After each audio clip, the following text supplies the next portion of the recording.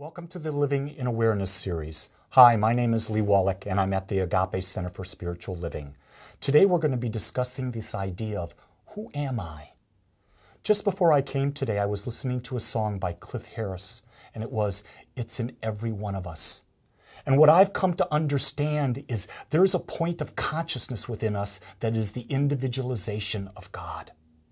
It is so clear that this idea of soul is that point of consciousness. When watching Oprah in her Sunday series on what is spirituality, she asks every one of her guests, What is your definition of the soul? And for me, the soul is that unique and individual point of consciousness where the infinite allows itself to create and to experience itself as only it can. And that's who we are. You see, we are given the gift of freedom. We are one with all that is. We are the drop of water within the ocean, and that drop contains all the properties of the ocean. So, as that drop, we have the power to create within us.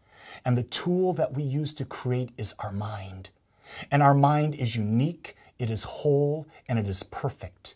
And when we use that mind, we create God in human form, unique, whole, and perfect as us. It is something we get to know as we express. And as we express in freedom, we feel joy when it is aligned with our path, a path of uncovering a deeper awareness, a deeper love of life, a deeper feeling of being the Christ itself. Have a great day as you contemplate this most important question.